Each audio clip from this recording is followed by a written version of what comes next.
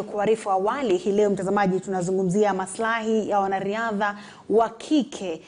Katika siku chache, tuseme wiki tatu ambazo zimepita, tumewapoteza wanariadha watatu. Wawili ni kutokana na dhuluma za kijinsia na mmoja mtazamaji, ni kwa sababu ya msongo wa mawazo alijitoa uhai. Na ndiposa mtazamaji, hii leo tunataka kulizungumzia swala hili. Kwa nini tu wanariadha hasa ndio wanaathirika pakubwa? Kuna wanakandanda, hatuoni visa kama hivyo vikiwa vingi upande wao. Studioni mtazamaji, naye Ahmed Bahaj ambaye ni mwanahabari wa michezo. Tungekuwa nao Catherine Dereba na Milka Chemos ambao ni wanariadha wakongwe, lakini ametuambia kwamba kwa sababu ya shughuli za dharura hawataweza kuwasiliana nasi, wengine kuzungumza nasi kutoka Eldoret ama kufika kwenye studio, lakini tumejiandaa, tutaweza kuzungumza na baadhi yao. Bahaja alizungumza na baadhi yao, tutaweza kusikia walisema nini, na vile vile Bahaja amepata fursa ya kutangamana nao na kuzungumza nao, na bila shaka ataweza kutueleza. Ahmed Bahaj, karibu sana kwenye Leo Mashinani ili tuweze kuzungumzia maslahi ya wanariadha. Mwanzo kabisa, kwa nini wanariadha na sio um, sekta nyingine, mfano kama wanakandanda na kadhalika? Mm. Ni fahari kubwa, nasema shukran sana kwa kunialika katika jukwaa hili la leo mashinani. Uh, leo tutapiga mistari hapa hapa, ingawaje si kuja kwa mguu wa kulia, ushanifahamu. Kwa mguu wa kulia namaanisha labda tungekuwa tuko hapa tunazungumza kuhusiana na Tirop, mafanikio yake. Hivi juzi amefanya vizuri, amevunja rekodi ile ya mbio za kilomita kumi, lakini tuaje tuzungumzia tena masaibu ya wanariadha wetu haswa wanawake na kifo cha Tirop ambacho mpaka hivi sasa sisi tumekuwa tukizungumza nao huko viwanjani tukiwahoji hapa na pale kabla kwenda Olimpiki, lakini sasa eh, tunakuja ku- kumwomboleza. Kwa hivyo ni masikitiko, lakini ni swala ambalo kwa sasa Mary lizungumzwe kwa sababu mficha uchi hazai. Kweli kabisa. Mm. Na mbona wanariadha Ahmed Haji? Oh, ni swali ambalo sisi pia tumeuliza shirikisho la riadha hapa nchini Kenya. Jamani, eh, kuna michezo viputwe tofauti, lakini mbona riadha haswa? Kwa sababu Mary, sisi tunatangamana na wote, hatuchagui hatubagui, ndio michezo. mm -hmm. kesho tuko na wachezaji soka wana kandanda. Juzi kuna mmoja alikuwa na matatizo ma, macho yake na kidogo akili, amepata ugonjwa akasaidika. Mke wake amekuwa naye bega kwa bega, lakini mbona kwenye riadha mapenzi mahaba wa watu wanaanza kama mtu na mkufunzi wake wanaishia kuoana, alafu mwisho masaibu haya. Naam. Kwa nini Mary linakuwa ni sasa ni donda linalogeuka kuwa donda sugu? mm -hmm. Kwa sababu visa vinaongezeka. Amini usiamini, ndani ya mwezi mmoja tu Mary, -hmm. wanariadha watatu wanafariki.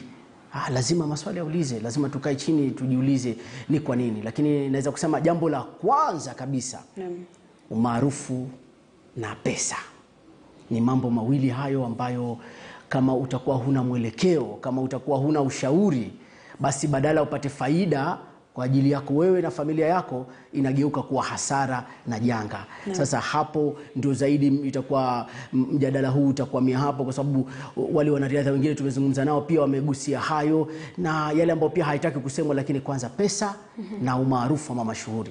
Naam, Bahaji, tukizungumzia pesa, pengine kuna watu ambao wakipata pesa bila shaka wanapata inakuwa ni karaha badala ya kuwa ni raha.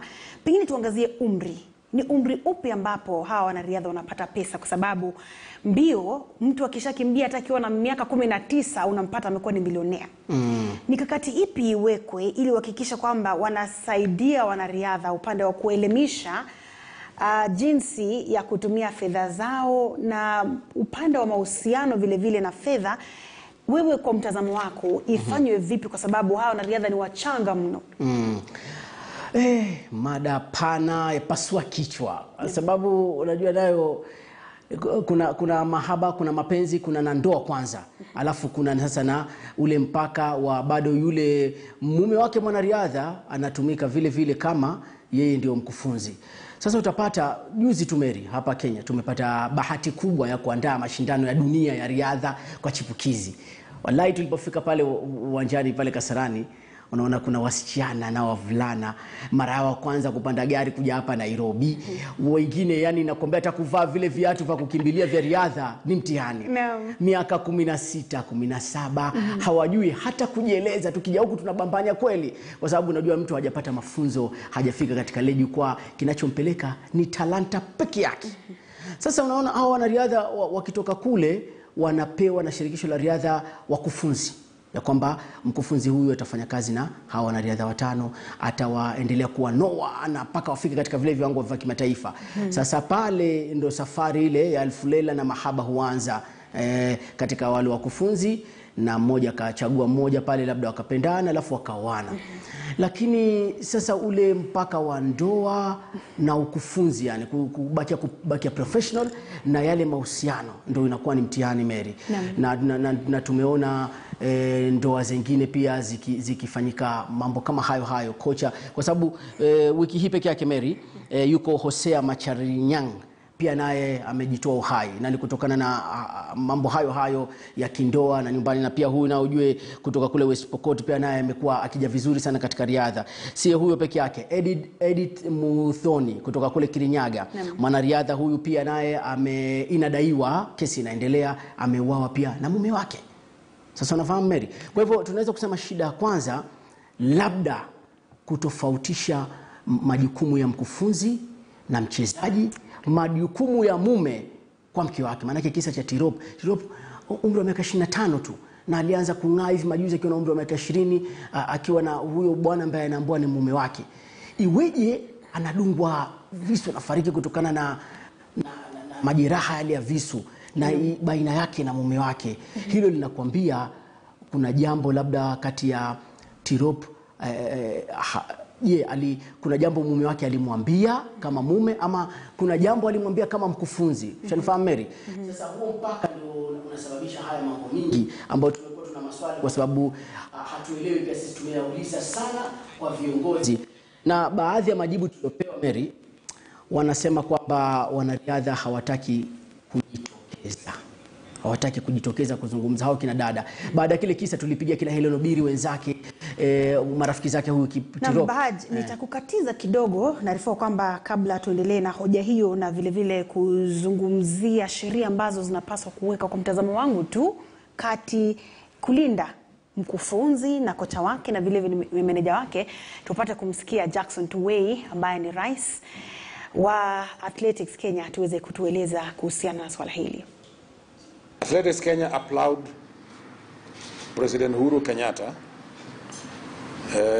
for giving his directive to speed up investigations and resolution of the circumstances surrounding the heinous murder of world 10,000 bronze medalist Agnes Tirop, which occurred yesterday, uh, the day before yesterday, at their Iten home in Elgeyo Marakwet County. We are confident the relevant agencies are working round the clock to ensure speedy justice to the family and friends who have been left emotionally scared by the demise of someone they depended on for financial and psychological support. As a federation and in our individual capacities, we once again, once more condemn this atrocious murder in the highest possible terms. Nothing justifies taking the life of another person. Albeit the circumstances leading to this incident remain unclear, this was a death that was quite unnecessary and a huge blow not only to the athletics fraternity, but also the local sporting industry, of which Tirop was one of the fastest rising stars. On Monday, uh, there were some issues we wanted to discuss with her, and I called her on Monday uh, in the morning. And you could not even notice there was anything. She was her usual self. She talked very nicely. We discussed about the performance uh, in the last event, and she gave me the information that I needed uh, as a result of our discussion. You could not notice there was anything uh, in our discussion, and it was really unfortunate and saddening that when we got the information yesterday, what had happened. Tungependa kutuma rambirambi zetu uh, kwa familia ya uh, Tirop na kwa wale wote marafiki na wanariadha ambao walikuwa wakishirikiana na yeye, na tena tuseme eh, Mungu eh, atalipisha hiyo kitendo cha unyama namna hiyo. Naam, mtazamaji, tukiendelea na mjadala wetu, Ahmed Bahaji ulikuwa unazungumzia uhusiano mm. wa makocha na wanariadha. Kwa mtazamo wangu tu nilikuwa nafikiria, unakumbuka wakati ambapo maafisa wa polisi walikuwa wanauana sana. Uh, Dr. Fred Matiang'i akasema kwamba ameweka sheria maagizo kwamba mm. polisi wasioane katika ndani ya kikosi polisi na polisi wasioane. Je, inawezekana kuweka sheria kama hiyo kuwalinda wanariadha kwa kusema wanariadha pia wasioane? Mtu akiwa na kocha asiwe ni mtu ambaye ana mahusiano naye, inawezekana? Uh, haliwezekani kwa sababu hakuna sheria ambayo imewekwa katika katiba yoyote ya nchi hii ya kwamba nadhani na, itakuwa ni mwalimu na mwanafunzi wake tu ndo hawaruhusi kuona kwa sababu ya umri na nini, lakini katika michezo hili jambo ha- halipo hapa Kenya peke yake, hata kimataifa lipo. Wakati mwingine kina Marion Jones walikuwa wanafanya kazi na waume zao, na ziko hadithi za mafanikio Mary ya kwamba makocha na, na wanariadha wao na ambao pia ni bwana zao wamefanikiwa sana, kina Mary Keitani pia ambaye amefanya vizuri sana katika mashindano ya dunia, Edna Kiplagat e, na hata Keitani juzi kastaafu amesema anatoa pongezi kubwa kwa mume wake na familia yake kwa sababu wao walitumika wali pakubwa kuleta mafanikio yake. Kwa hivyo si ndoa zote, lakini kama alivyozungumza Tuwei, umemsikia rais wa shirikisho la riadha hapa nchini Kenya anasema sheria ifuate mkondo, yaani ikimaanisha kwamba haijalishi kama mume wake Tirop ni, ni, mkufunzi na, na yuko chini ya shirikisho la riadha, lakini kama akipatikana na makosa basi aadhibiwe, kwamba wao hawaendekezi uovu kama huo, na walisema ni kitendo kibaya. Eh, Kwa nini mkufunzi amfanyie mchezaji wake hivyo, ama mume amfanyie mume wa, mke wake tukio kama hilo? Naam. Na bila shaka tume wakati ambapo Agnes Tirop alikufa, Mola ilaze roho yake mahali pema, ilisemekana kwamba amekuwa akilalamika na kutoa taarifa kwamba e, mpenzi wake amekuwa akimtishia maisha, na wengine pia vile vile tumesoma kwamba wamekuwa wakiandikisha taarifa kwamba wanatishiwa maisha na wapenzi wake. Je, hizi zinapotolewa ni hatua zipi ambazo zinatumika kuwalinda, ama hakuna mbaya, lakini baadaye tunapata kwamba wengine hata wameuawa? Mm. Sasa Mary, shida iko hapa.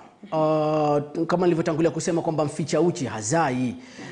Tulipo hata Barnabas Korir mwenyekiti wa shirikisho la riadha hapa Nairobi asema hiyo Jumatatu alimpigia Tirop simu na kutaka maelezo fulani kuhusiana na, na ratiba ya mazoezi. Na akampatia, lakini hakum, hakumpatia hata ishara yoyote ya kwamba ana tatizo ama huyu mtu leo labda kuna vita vinaendelea na mkufunzi wake. Alafu na pia wanariadha wenzake kama nilivyokuambia, tumezungumza nao kina Faith Kipie, chembe chembe hata moja ya wasiwasi kwamba huyu ana matatizo na bwanake na, na mkufunzi wake. Sasa inakuwa ngumu na ha, ha, hizo taarifa ambazo zimetolewa wakati wa huu upelelezi ya kwamba alikwenda kaweka ripoti polisi. Sasa unaona eh, kule walifuatilia labda kama kesi, lakini hakukuwa na ushauri kwa hao wenzake, ingekuwa amewaambia na, wakiwa kambini, tuna tatizo sisi, naomba munisaidie, hapo inge ingesaidia. Lakini sasa kule upande wa ripoti ya polisi inakuwa labda kuna mikakati lazima wafuatilie ya kisheria ya ukufunzi, nini hutakiwi kufanya hili mpaka kwanza, ushanifahamu. Sasa hilo ndo tunaweza kusema labda liliharibu lili, lili katika ufuatiliaji wa kesi ya Tirop, maanake angewaambia wenzake ama hata hao marais viongozi wa shirikisho la riadha angesaidika, kwa sababu ile siku meri tutasema kitu gani kilichotokea, labda walizozania hela, labda walizozania uongozi, labda Tirop alimwambia mumewe kwamba ah, mimi nafikiri wewe hapa unatakiwa uzungumze kama mkufunzi na sio mume wangu mm -hmm. katika kulifuatilia jambo hili. Labda alimwambia eh, katika swala la, la, la usimamizi wa fedha zetu, na wakakosana, kwa sababu sasa inakuwa ngumu kuweka mpaka mume na mkufunzi. Je, mume wake Tirop anamwagiza na kuamrisha kama mumewe ama kama mkufunzi? Na kama tulivyosema Tirop bado alikuwa msichana mdogo na walikutana na huyu bwana yeye akiwa amemzidi kwa umri zaidi ya miaka kumi na tano. Ushanifahamu? Sasa na wasichana hawa wanapopata umaarufu wanapojua sasa pesa zipo labda inakuwa vigumu pia kumshauri ama kuelewana naye. Kote kote inaeleweka. Naam, na, na, na ndi- ndiposa eh, Mary tunarejea pale pale. E, je shirikisho sasa litachukua hatua gani? Ushanifahamu? Kwa sababu tumeshajua hakuna kilevi kinacholewesha zaidi mm -hmm. kama pesa na umaarufu Naam. Eh, watu wawili ambao wamewatoa katika hali labda hali duni chini kule hawajulikani hawana kitu alafu wamekuja pamoja wamepanda E, sasa e, e, katika baadhi ya wataalamu ambao tumezungumza nao wanasema pia inakuwa ni vigumu e, kuwashauri wale wanariadha wenye ambao wamekuwa masuperstar tukiweka hivyo. Na je eh, kwa sababu sasa Mary mimi ndo mume na, na mke ni yule mwanariadha sivyo mimi ndo nakimbia na ndo naleta hela pale nyumbani na ni mamilioni. Alafu sasa wewe mume unataka kunielekeza namna kuzitumia zile fedha? Inakuwa ni vigumu sana. inakuwa ni vigumu. Alafu pia kuna sakata ambapo hawa hawa makocha wengine huingilia maswala ya, ya ulevi maswala ya, ya, ya usherati. Sasa hebu Mary niambie wewe ndo unasimamia fedha zangu. Alafu wewe ndo kocha wangu na bwanangu. Alafu nasikia zile fedha zimetumika kununua nyumba kwa kidosho fulani pale pembeni. Itakuba, ita, itaeleweka? Ndio utaona sasa wale wanariadha waambia wale wanawake sasa bwana mimi pesa nitatoa usimamizi wa fedha nitapatia shirika fulani. Hey, na inakuwa balaa. Kivipi? Na wewe ni mke wangu natakiwa uwe chini yangu kulingana na yale maswala ya kindoa na kwa ni- tatizo Ni swala tata sana. Baadhi, kabla nirejee kwako, tuzungumzie tume, tume ambayo ilibuniwa ili kuweza kuangalia maslahi ya hawa wanariadha hasa wa kike. Tuangazie idadi ya wanariadha ambao wamepoteza uhai wao katika mazingira tata. Mhm. Haya, unamtazama pale, utaona katika picha yetu Samuel Wanjiru alitamba, alikuja kwa kasi na nyota yake akang'aa. Bwana ikawa bwana eh, tena safari hii tumepata Wanjiru kutoka sehemu za no, Central huko, ambao pia naye anafanya vizuri katika riadha. Watu tumezoea um, mkoa wa bonde la ufa eh, ikawa kila Mkenya anampenda bwana. Ghafla tunasikia akajirusha kutoka nyumba yake ya ghorofa. Ilikuwa siku ya simanzi na kila mmoja bwana, hu- hu- huba lile la, la huzuni kubwa. Ilikuwaje kesi kufuatilia, na ni mtu alikuwa ana mtoto mchanga na mke wake. Kumbe mambo sivyo yalivyo ya, huku nje. Shanifahamu ni miongoni mwa wale wanariadha ambao wa- walipoteza maisha yao na maswala haya ya kindoa, dhuluma zile za kijinsia, kupigana na mpaka kutoana uhai. Kesi zile zikaendelea, mwisho majibu yanapatikana, wengine wanaridhika, wengine hawaridhiki. mm -hmm. Na hili bado tuna- tunarejea pale pale. E, sasa wamezungumza washauri ya kwamba baadhi ya maswala mengine ambayo yanachangia ni utumiaji wa wa, wa, wa, wa vileo shafahamu eh, mihadarati chini kwa chini watu wanatumia baada ya kupata ule umaarufu unakuwa mtu sasa haambiliki asemezeki ndio vile vita vinakuja pale nyumbani eh, yeye na mke wake. Na ujue hapo hapo unazungumza na mtu ambaye ni, ni, ni, ni mtu mashuhuri mtu maarufu si hapa Kenya ni ulimwengu mzima. Sasa hata yule mke anaweza kumshauri kweli anaposhauriwa mume atakubali mm -hmm. ndio pale huishia pale. Ama kwamba pesa ni zangu eh, mimi naweza kufanya kile ninachotaka sasa ina- inakuwa mnavutana. Hapana. Eh, ndio naona kule Ulaya wanaweka wale wataalamu washauri wa, wa maswala ya kifedha maswala ya kindoa. Lakini hapa nchini Kenya hatuna hao tusidanganyane shirikisho linasema limeweka tu tume ya kwamba kama kuna tatizo mnakwenda kushauriwa. Na pia wameweka semina e, akina tuweo wamesema kila mwaka kuna semina mbili ambazo wale wanariadha wetu wanakwenda kushauriwa na kupewa mwelekezo namna ya kutumia fedha namna ya kusimamia fedha namna ambavyo ule umaarufu utumie kwa faida na wala si hasara. Naam, vile vile mwenzangu Ahmed Bahaj, kuna wanariadha ambao nao wamepata tatizo la uraibu wa pombe, kuna baadhi mihadarati na kadhalika, na ukapata fursa ya kuzungumza na Wilfred Bungei, akaweza kukiri kwamba kweli amepata tatizo ambalo ni matumizi zaidi ya kupindukia ya pombe. Basi tuweze kumsikia ama mahojiano ambayo ulikuwa nayo kabla ya kuzungumzia swala hili. Lili huenda likawa limejitokeza katika wakati kama huu Agnes Tirop na, na kocha wake. Asante sana Bachi. Uh, nafikiri ukisema hilo swali ni kwamba eh, tumeona kwamba wanariadha wengi ama wanamichezo wengi ambao wanapitia changamoto. Sana sana hawataki kujitokeza, sababu wanaona kwamba mimi nimeitengeneza jina, niko na shida, lakini sitaki kusema, na inaelekea mahali ambapo sio sio pasuri, sababu nakumbuka wakati kwa vile umesema kwamba mwaka wa elfu mbili na kumi na mbili nilikuwa na shida ya mwaka moja na nusu, lakini wakati nilipojitokeza watu wengi walisema ya kwamba kwa nini unaharibu jina, lakini mimi nilijitokeza sababu nilikuwa nataka usaidizi kwa wale watu ambao wanapitia shida kama langu ambayo nilikuwa napitia. Ndio tunasema kwamba ukiangalia maneno ambayo yamepitia, labda kama Agnes Tirop eh, ange, angesema kwamba kuna shida ambayo anapitia, then bila shaka labda hiyo tungeweza kuzuia. So tunasema kwamba kwa mwanariadha yeyote yule akipata akiwa na shida yote ajitokeze na aseme, sababu tunashukuru tuna, eh, Athletics Kenya vile wamesema kwamba sisi tuko tayari tusikize kila mwanariadha ambaye ako na shida yoyote, lazima hajitokeze, na ofisi niko na hakika kwamba iko wazi ili waweze kuongea na hawa. Ba baadhi ya wanariadha hawa wakina dada unaona wao makocha wao ndio bwana zao vile vile. Je, unaona hili pia linawazuia wao wanapotaka kujitokeza kwa ulimwengu kwamba tuna shida mimi na, na bwanangu, anaona ah, naweza kuharibu kazi upande ule kama mkufunzi. Hilo unaona linakwaza na linaweza likashughulikiwa vipi? E, tunajua kwamba wanariadha wengi hasa kwa, kwa wake you know, tunajua kwamba wengi wanakochiwa na, na, na their spouses ama mabwana zao. Tuko na success stories ambayo zimetokea na lazima wao wa, wa, wanariadha kama kuna shida yoyote ambayo iko kwa familia lazima wajitokeze. Wa, mtu asiangalie tu ya kwamba siwezi kujitokeza sababu bwana yangu ni, ni, ni kocha wangu sita perform, sababu tunajua kwamba eh, katika nchi tuko na coaches wengi, sio lazima tu awe your sports, lakini pia kama ni lazima hapaki akiwa your sports, lazima tu wabadi, wa, wa, wa separate. Ile ambayo tunasema ya kwamba kikazi na wakiwa familia. Na wakiongea, then bila shaka, sababu success ya huyo athlete pia itakuja kwa yule eh, eh, bwana wake. Mm -hmm. so lazima tuangalie na lazima tu, wa- wao ile tu chenye nasema ni kwamba lazima wajitokeze waseme tuko na shida. Unajua wakipata eh, psychologist ama mtu ambaye atasikiza, then bila shaka lazima watafute namna ingine ya kufikia kwa huyo mzee na aeleze ya kwamba unajua nini, pea nafasi eh, bibi yako afanye kazi ambaye inatakikana afanye mm. yeah. na tu- tuje hapo hapo, visa wanariadha vimeongezeka. Tumeona Samuel Wanjiru wakati huo, sasa Agnes Tirop, na vimekuwepo na visa vingine viwili vitatu. E, je, ni kwa nini wanariadha swa ndio wanapatikana na masaibu haya, kujitoa hai, kufanya nini? Kwa nini vinaongezeka? Ina, inatia hofu.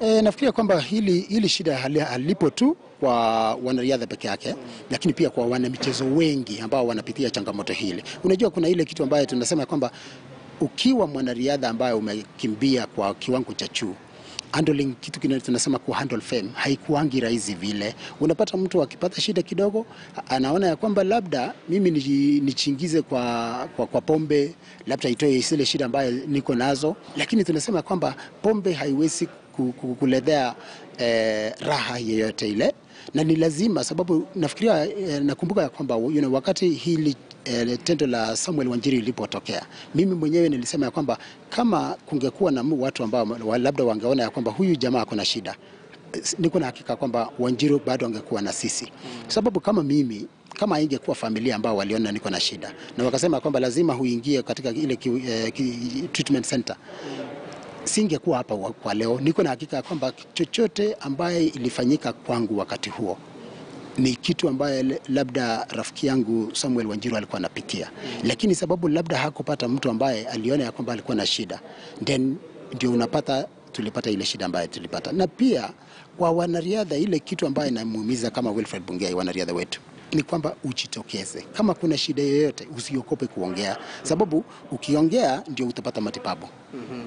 na, na, na mwisho kabisa unazungumziaje una, kwa wana- wa- wanariadha wa, wengine unaopatia ushauri gani? Na je, unaona serikali sasa nayo ina- inastahili kujitokeza kumpatia kwa sababu ni kama shujaa pia hapa nchini Kenya Tirop. E, bila shaka uh, nafikiria kwamba hivi karibuni tukisherekea siku ya Mashujaa Day, lazima tukumbuke kama nchi ya kwamba Agnes Tirop alikuwa shujaa moja, you know, uh, future yake ilikuwa mzuri, ilikuwa inge, ingekuwa vizuri zaidi, lakini lazima tukumbuke kama nchi, especially wakati huu ambapo tutakuwa tunasherekea Mashujaa Day. Naam, Ahmed Bahaj, umezungumza hapo na Bungei, na kando na uraibu wa mfano um, matumizi zaidi ya pombe kama alivyokubali Wilfred Bungei, kuna vile vile swala la msongo wa mawazo mm. Hawa wanariadha ambao wanapatwa na hali hii, je, wanapata msaada? Kwa sababu kuna wengine ambao wanapata mamilioni ya pesa mm. Umekuwa na pengine milioni mia tano baada ya miaka mitano huna kitu mm-hmm. Watu kama hao kabla wajitoe uhai mm. kuna mahali ambapo wanapata msaada Hoi, sasa ku, kwenda mahali kupata msaada ni jambo la pili, lakini je, wewe tatizo lako umeshalikubali? Tatizo lako. Unajua kwanza mimi nimekuwa na pesa milioni mia mbili alafu nimezimaliza fyu katika mkupuo tu wa, wa miaka miwili mitatu na, na mbio ha, miguu haiwezi tena hivi sasa. Sasa huwezi kimbia tena. sasa jamaa kwanza wanaogopa kwanza, eh, nitachekwa mimi, si watakwenda kunikejeli wale, kwanza niliwashinda. Mimi ndo nikashinda zile mbio, alafu sasa naenda ku, kuwaambia kwamba eh, bwana pesa zimeisha, sasa hivi nina mastress na msongo wa mawazo, wana, wanajificha. wana Sasa katika kule kujificha, wanaamua kuingilia katika kinywaji eh, na, na, na, na mambo mengine ya chini kwa chini ambayo yanawakurupusha japo kwa muda tu, shanifahamu. mm-hmm. Ndio maana wengine Mary huamua ah, labda njitoe uhai, shanifahamu? Na wako kadha kadhaa. eh, kwa sababu ya, haya ni msiba wa kujitakia, haina haja nishughulishe watu wengine. Mm -hmm. E, majuzi tu tumeshtuka. Asbel Kiprop bingwa wa dunia mara kadhaa Olimpiki mbio za mita 1500 mjomba ametaka kujitoa uhai na kisha lililomsaidia alijitangaza ambaye mimi nilikuwa nafikiria kujitoa hai, watu wakienda mbio kumsaidia mm. na hii ni kwa sababu akuhusishwa na yale masuala ya utumiaji dawa za kutitimua misuli. mm. Akaona watu wamemharibia eh, rekodi yake, amepokonywa zi, eh, zile medali na mataji Mary aliyoshinda. Unaona ni, ni vigumu kwa mtu kama huyo, lakini akaamua kusha, watu wakamkimbilia na kumshauri, mm. lakini Mary eh, wamesema kwamba wameshaweka vituo na tume imeanzishwa kamati maalum. Catherine Dereba leo tulikuwa tuwe naye hapa, ni bingwa wa, marathon huyo eh, na pamoja na Milka Chemos, lakini wamepatikana na dharura wote wawili. Tulikuwa tunataka sana eh, watuambie, je, yeah, eh, mapokezi yako vipi? Kina dada wameanza kujitokeza, watu wameanza kufunguka eh, ingesaidia kweli kweli, lakini na- na- natarajia kwamba wale wanariadha wengine wale marafiki zetu uh, wa Kenya ambao ni mashujaa wanatuwakilisha, kama mnatazama, jamani, mficha uchezai toka njia, njia moja ya kutatua tatizo lako niwe mwenye kulikubali na kulisema. Kwa hivyo vituo vinaweza kuwa vipo, lakini kwa sisi mila zetu za Kiafrika mpaka kukubali unakwenda counseling. Jamaa anasema ah, hivi unataka kunifanya mimi nimekuwa mwandazimu? Mimi sio chizi bwana eh, ambao ni mambo ya kawaida tu, unakwenda unasaidika na msongo wa mawazo, na wajua siku zote eh, alimradi almuhimu bado una uhai wako, hata kama umepoteza pesa, umepoteza umaarufu, maisha yanasonga. Wangapi tumeona eh, sio mwisho wa maisha bwana. Naam. Hmm. Na vile vile uh, tume hii tunaarifiwa kwamba imekabiliwa na changamoto kadhaa, kwa sababu kuna baadhi ambao wanaogopa kujitokeza. Mfano, kuna yule mwanariadha ambaye anaanza tu ni mara ya kwanza amechaguliwa kusafiri pengine kwenda Tokyo na kadhalika, na unapata baadhi ya watu ambao wanamsimamia wanataka uhusiano wa kimapenzi na yeye, yeye hataki, lakini anajua asipokubali pengine hmm, hataweza kuendeleza karia yake. Watu kama hawa wanafanyaje? Kwa sababu bila shaka ni swala ambalo linawatatiza wengi, inakuwa ni thin line kati ya eh, Kazi kazi yake na sasa binafsi moyo ndio hiyo sasa. Mm, Inakuwaje kwa hawa? inakuwa kibarua kigumu dadangu kutofautisha maji na mafuta katika chupa moja. Maanake yule mkufunzi kashakuja na umri wa miaka 47 msichana ndo amekimbia juzi pale na umri wa miaka 17 alafu uh, ashampiga mistari kwamba anampenda ana, anataka kumwoa Na amemwahidi kwamba atamsaidia mpaka afike kule juu. Sasa msichana msichana pale mahali pa kukubali kwamba nakubali kwa sababu ya karia yangu taaluma yangu ifike juu, na pale kukubali kwamba nakubali kwa sababu nampenda huyu mtu pia mimi mm-hmm. nani atatoa hiyo tafsiri? mm-hmm. Hata ukawaleta mashekhi na mapadri inakuwa vigumu. Yule msichana mwenyewe ndo anaweza kutuambia, lakini hatasema wakati ule, labda sema ah, namkubali huyu kwa sababu ndo nipande ndege nifanikiwe, ni- ni- ni- niende nikashindane katika mashindano ya kimataifa. Nikimkataa huyu bwana atanizuia ata, lakini labda ndio baadaye Mary huja zika ukweli ukadhihiri ya kwamba ah, mimi nilikuwa kwanza sikupendi wewe, mimi nilikubali tu ndio kufika, ashafika ashakuwa star mm -hmm. sawa. Mary ashakuwa star. Naam. Kwa hivyo anasema ah, ndio pale akimkataa yule mume, ndio hivyo visu mara labda wakati vingine hutembea mm -hmm. sasa uh, uhasama mkubwa unatokea, yule mume anaona pia ametumika. Lakini kwa wale wanariadha kina dada, ikifika umri fulani anaona sasa, mimi nimekomaa, najielewa, najua msimamo wangu. mm -hmm. We bwana, wewe mi sikutaki tena, naona tu tu unakula hela zangu.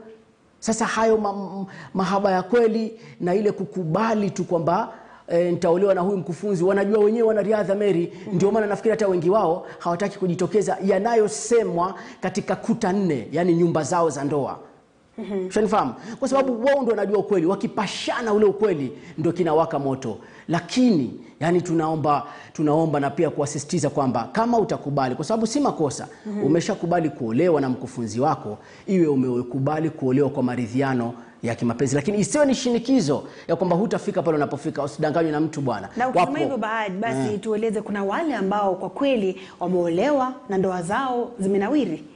Wapo Naam. wapo tena wamefanya vizuri. Nikiwa nitaanza na Edna Kiplagat, ameshindana mashindano ya dunia. Huyu ameshinda e, mataji tofauti ya dunia, na bwanawake Gilbert Koech tulikuwa tumetafuta zile picha pia, tukizipata itakuwa utamu kwelikweli kweli, ndio tumuone huyo Edna Kiplagat, bingwa mara mbili wa marathon ya dunia ile. Pia ameshinda mm, mm, eh, toka wa pili hivi majuzi tu e, Boston Marathon nafahamu, na ameshindana katika viputwe sita vya marathon ya dunia, Edna Kiplagat akiwa na mume wake Gilbert Koech, mtu na heshima zake. Mume wake bado anampenda vile vile na bado ni mkufunzi wake. Hatujasikia mpaka leo kwamba kuna kashfa. Itakuwa ni yale ya kawaida kama asilimia tisaini ya ndoa za kawaida, mtu na mke wake akitokea hapa na pale wanarekebisha na kusonga mbele. Hatujasikia hata kibao kama amepigwa Edna Kiplagat hajasema. eh, lakini sasa wana, wanazungumza Mary, wanawasifia bwana zao. Edna Kiplagat tumefanya mahojiano nayo huko nyuma, hatuna tu nini kwa sasa, lakini ameshasema kwamba mume wake ngao yake amemsaidia pakubwa. Haya, ni kukuambia mwingine naye ni Mary keitani Mary Keitani kastaafu juzi tu, bingwa mara tatu wa London Marathon, mashindano yale ya, hadhi ya juu kabisa. Mary keitani amekimbia katika viputo tofauti na miaka kwa amemaliza akiwa na umri wa miaka 36 amekaa na mume wake zaidi ya miaka kumi na. Na Mary Keitani, eh, somo wako huyu Mary unajua yeye pia aliolewa akiwa mdogo sana, umri ule ule mchanga mchanga, kwamba sijui ni mapenzi ama ni, ni kwamba nataka mkufunzi wangu anifikishe pale nataka kufika. mm -hmm. Lakini angalia matokeo yake. Juzi Rotuno Konyike amefanya mahojiano naye, anasemaje Mary? mm -hmm. Anasema nampongeza namshukuru sana mume wangu kwa ku, ku- kuwa na mimi kuniongoza vizuri na, na kunisaidia pia upande wa pili wa, familia mm -hmm. Kwa hivyo hawakuwa na, na tatizo. Vivian Cheriot cross country bingwa huyu marathon na mbio za mita elfu kumi.